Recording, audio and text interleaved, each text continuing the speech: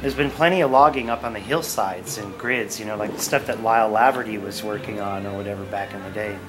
Planning these logging projects, they're clear cut blocks here, there, and all over the place on the map, but not in the actual creek bed as far as I could ever tell. Right. There's also a major clear cut uh, in the vicinity of the MK Davis site where we found those stumps. Yeah. And on the aerial 93 map show a lot of the clear cut took place Yeah. there. That could have been done later, actually. Yeah, well, MK site, because that's a, between a that flatter plane, right? Going Right. back in there. It's, it's not a real steep slope, and that was debating factor also for timber. How what percent slope was the background slope based on the photos? Like uh, trying to look at the dark and light slide we did today, looking back and forth. It was suggested by MKDU to check it that way. And again, it's a matter of interpretation on the photos. What we see, or what you see, or what he sees. That- That's it's tough. a Byrne, a Byrne photo. But MK did some selective lightning in the background to reveal contrast amongst the trees, and it does show a lot more detail in the trees. Yeah, it did.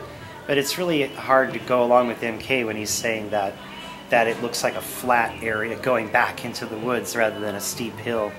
You can see the trunks still rising up as they go up the hillside, and foliage is blocking that, making it seem less apparent to MK's eye, anyways. But we did spend some time looking at it, flipping it.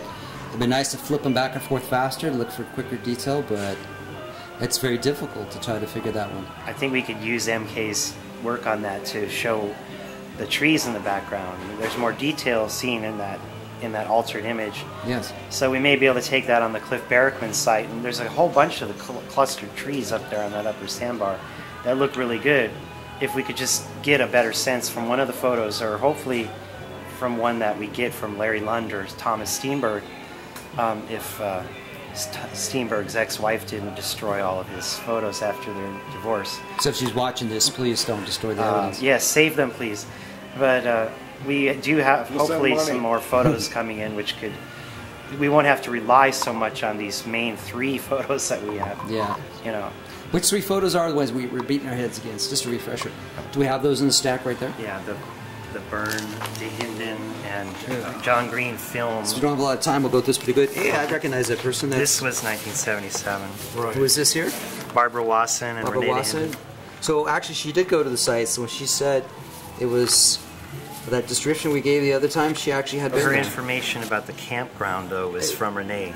That's In- in published in, book. her book. We uh, read it in one of the video right. Sasquatch apparitions, which Yeah. is Here's another we've been using. Interesting book. The Creek, Where The Rise and. Fall, uh, 1971, taken by Renee. I Then over here's another shot. Uh, he- yes, uh, another one from Renee. The X's on the trees saying the ones that fell down, and that's another shot right Yes.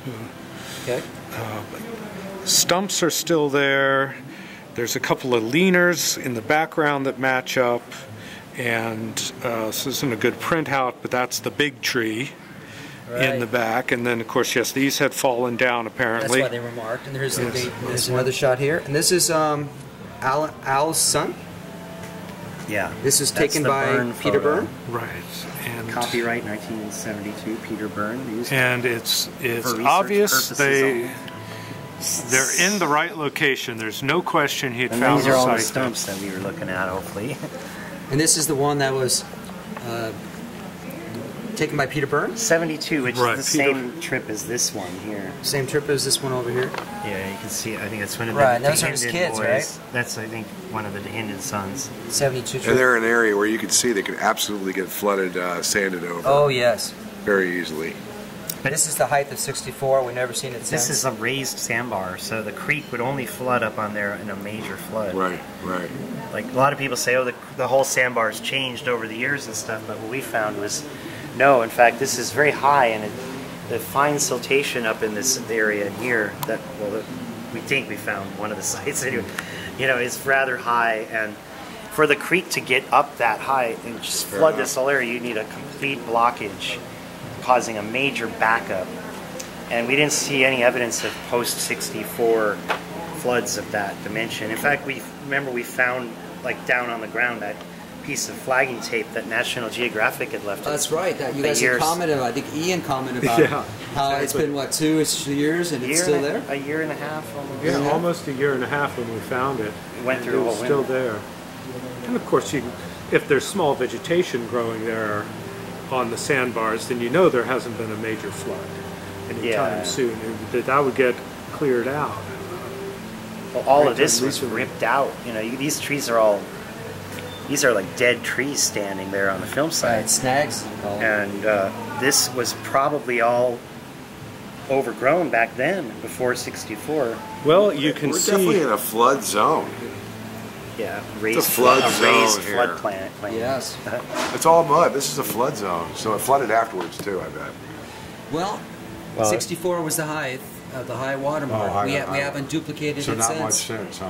It floods, not but high. not necessarily all the way up onto there. This Okay. is the last negate all that. photograph that we have right now. We say hopefully we'll have more on the way You talk about for next with, uh, field season. Barbara and Renee? Yes, and this is, we believe, 1977. According to Daniel Perez, who published this, we should say thanks to him. Yes, uh, Thank many very thanks for the generous sharing of uh, all of his resources. Uh, But that was 77, and you can Yes. see it's already totally starting to overgrow here. exactly, uh, they're standing right, right about in here, I believe. There's They were trying to replicate in front of the log. exactly. So can we actually see something in this photo that's going to recognize us with the other one? Well, the big trees are back there. There's a second one. How about the logs? There's Do a you have log. that one too? Is that a log? Am I seeing things? Well, that might be the log. Is it this one? Can we see a log in there? Is that the log? Uh, So that's a log there. 'Cause In the Bigfoot Times, there was there were two photos published, and one showed another fellow standing Yes. in the background. Uh, I do not have uh, Yeah. a printout of that one. So the big trees are back in here, and the, from the, di- ang- the angle of the second shot, you're looking into here, where the big the film site went back behind here. They're they're in front now of the bushes and stuff, like that grew up. So can you match that log that's in this picture? This very log here. Yeah, with this log here, but unfortunately it's the end piece know. is missing. And then you look at this one here from a distant shot. Could that be it, or what? Well, I think the logs are here in from. that pile over there. Yeah, um, well, you can But see there's a log laying down right here. you can see in this shot. Yeah. s- The that yeah the um, yeah I think that you're I think that you're right about here. However, here's where Murphy puts the uh, camera position. But he puts it over there, Cam- Pa- Patterson was in front of that log. where that circle is. Look at this. Here we go. This is this. Yeah, it's the same Yes, it's photo. It's the same Yeah. spot. Okay. Yes. But Murphy just put his little locations for his There. photo Oh, study. all right. But I, I, I'd love to just for you know maps are kind of cool, but match that point of that log. There's Yeah, it's like a stump in you're the talking camera angle And problems. camera angles are hard to do because distances are another issue to deal with. Is there is there any other factors I have? And we, we've talked about this before, and so we've talked about the height of the hillside. We've talked about trees. Uh, we talked we're going to try to do some aging here in the future. That's going to be helpful with bore bore increments. Yeah, and a metal detector. Metal detector. We talked about using a metal detector because we did find a piece of, I guess rebar would be a right term, at the half mile up. Barbara talked about a campsite, half mile from the bridge. Which we think Renee might have marked. And now we found a piece of rebar there, and uh, it'd be nice to go out and see if with the metal detector to find a few more items. Yeah, well, Renee, Renee, I don't know if this got in our videos before, but we know that Renee hammered rebar down on the film site when he was doing this surveying stuff. As a matter of fact, from Right. my understanding, is it may have been this very trip when he put this rebar down. Like he, he's got some kind of survey thing going on. Yeah, There's his little tripod. Tripod thingamajigger. There's the um, pole they were using to mark the height elevation of height. the guy. Correct. That would be, I guess, three frame 352. It would be because see after you left here, there's branches hanging down. Yeah. That's in the same shot as Oh, hey, so maybe that's the big tree right there then. Because here's that branch that's hanging down. Yeah, there. And there's that branch. Can you see this for a second, Ian? There's that branch that's hanging down. So Yeah, this sticks over here. That's a pretty hmm. good match. Wow. I'm liking it. So, And, and here's a side one. Look, here's a side one. Yep, that's it. yeah. That's cool. At least we know this picture was taken puzzles. near here. Yeah. Yeah. Now, we, now that means if we know this, that we should be able to find this log here, right? So that is this log. So I have to wait for another That's evening. got to be the log.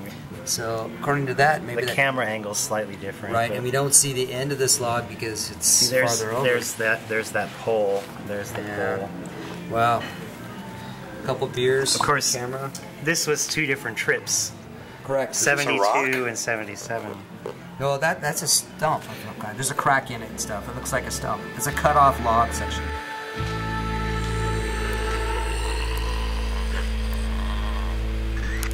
Bigfoot lives.